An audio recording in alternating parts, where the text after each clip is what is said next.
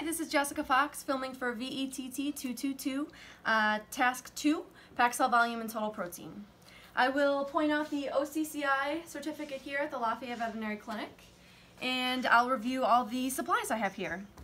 Um, so distilled water and lab wipes. I do have a uh, microscope slide as well as my refractometer. I have um, at least one ml of a patient's EDTA blood um, this is Lessa Marks, and I have the patient's name, patient ID number, and date.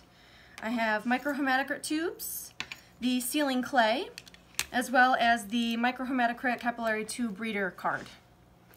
All right. So getting started, I already have my gloves on. I'll go ahead and gently invert the EDTA blood four to six times. Two, three, four, and five. Okay, so first step is we're going to take a microhematocrit tube. Just pop this open. We're actually going to make two of the same exact tube so we can balance them in the centrifuge. So I'll take two of these out.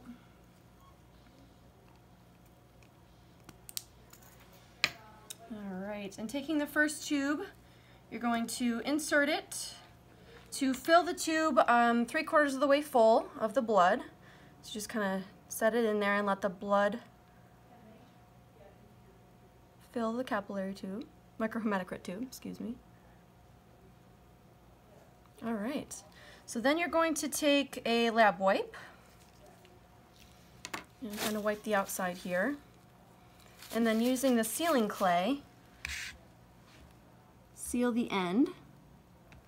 All right, and we're gonna make another tube exactly the same.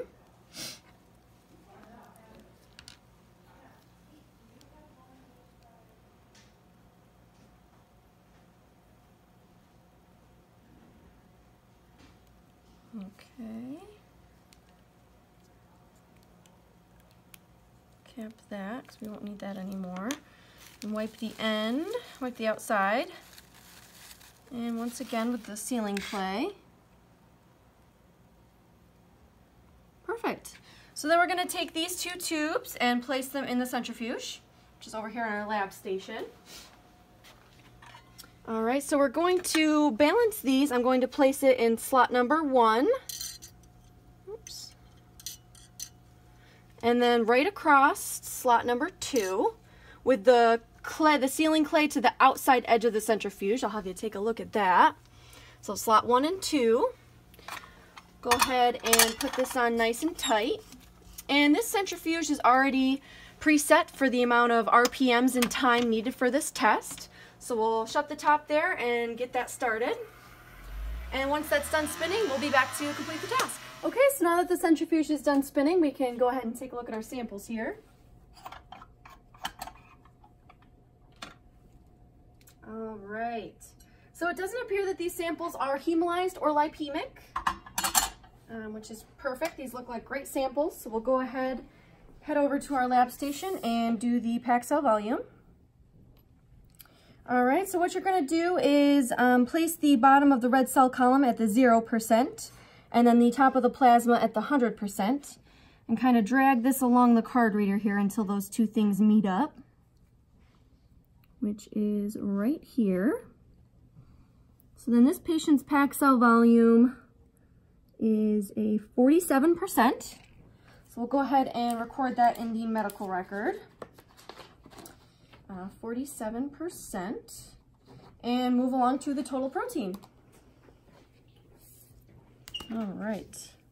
So you'll grab your microscope slide and just kind of slide it along the tube here to create a breaking point.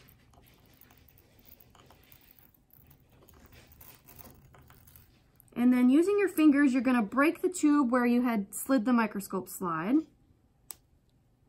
Okay, grab the refractometer. And then using the opposite end, um, we don't want any glass shards falling on the refractometer. So you're going to use the other side to gently place a sample here. Okay, close that. And then um, Put it up to the light here, bring it in focus. And this patient's total protein is 7.1 grams per deciliter. I'll have my approved preceptor, Catherine Bollinger, come into the field and check my work. 7.1 grams per deciliter. Okay, perfect. So I'm going to record that in the patient's medical record as 7.1 grams per deciliter. The last step is to take the refractometer and the distilled water, and we're going to head on over to the sink and just clean it off so it's uh, fresh and good to go for the next person. So just some distilled water. And then dry it off using a lab wipe. All right, and this completes cell volume total protein.